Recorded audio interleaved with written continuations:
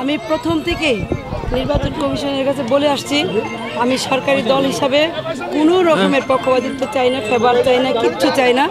নারায়ণগঞ্জে একদম সুষ্ঠু সুন্দর নিরপেক্ষ নির্বাচন যেন হয় এবং এই নিরপেক্ষ নির্বাচনের মাধ্যমে নৌকার বিজয় নিশ্চিত ইনশাল্লাহ আমি একটাই কথা বলব যে যত পক্ষের আলোচনা হোক না কেন তৃতীয় পক্ষ হোক চতুর্থ পক্ষ হোক যত পক্ষই হোক না কেন যদি ইসি শক্ত ভূমিকা পালন করে নির্বাচন কমিশন যদি শক্ত ভূমিকা পালন করে আইন শৃঙ্খলা বাহিনী যদি তৎপর থাকে তাহলে কারও কোনো ক্ষমতা নাই এখানে কোনো কাটি নাড়াবে কারণ সমস্ত নেতাকর্মী আমার সাথে আছে যেহেতু উনি সংসদ সদস্য উনি কিন্তু চাইলেও আপনাদের সম্মুখে আসতে পারবেন না আইনি বাধার কারণে।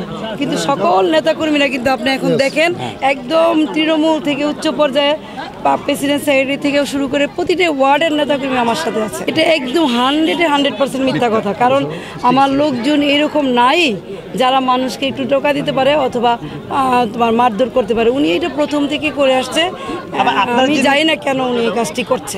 অবশ্যই সিদ্ধিরগঞ্জের ওসি। আমি পরিবর্তন চাচ্ছি। কারণ উনি বেশি রকমের কটা ডিটেল কাজ করাতে ওইখানে জনগণের দাবি। সিদ্ধিরগঞ্জের আওয়ামী লীগের লোকজনেরও দাবি। শুধু আওয়ামী লীগ না, সকলের দাবি যে সিদ্ধিরগঞ্জের কৌশিকে পরিবর্তন করা হোক। নারায়ণগঞ্জ দুই হাজার এগারোতে তিরিশে অক্টোবর যেমন নির্বাচন দিয়েছিল, আমি আশা করি এরকম নির্বাচন দিবে। তবে নির্বাচন যাই হোক না কেন, আমি নিরপেক্ষ নির্বাচন দাবি করছি, ফলাফল যা হবে ইনশাল্লাহ মেনে নিব।